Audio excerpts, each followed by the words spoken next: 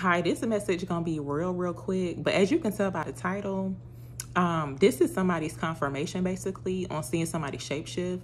Because for some reason, like I didn't, I never really got one of these messages before, but like basically, I just start feeling like somebody saw somebody shapeshift, but it's like they could be unsure about what they saw and usually when it happens like if it, if it was like your first time experiencing it like seeing somebody shapeshift it be happening so fast to where you be thinking like you seeing things and it's like whoa did i just see what i just saw?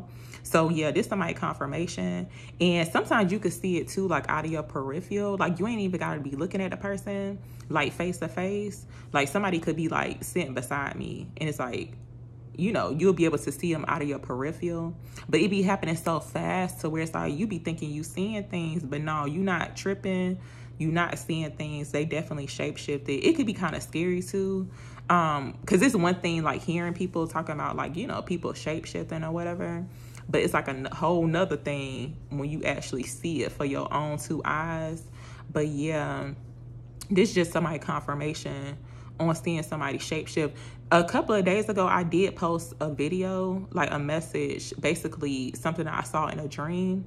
I was talking about a woman. Like you could be a guy watching this, or even like a woman. I don't know, either one.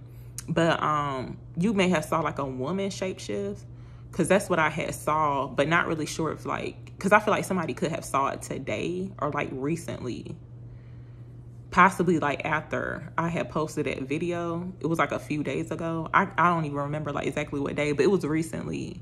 But I feel like it just happened for someone. But yeah, this just your confirmation. Like you're not crazy. You definitely saw them shapeshift.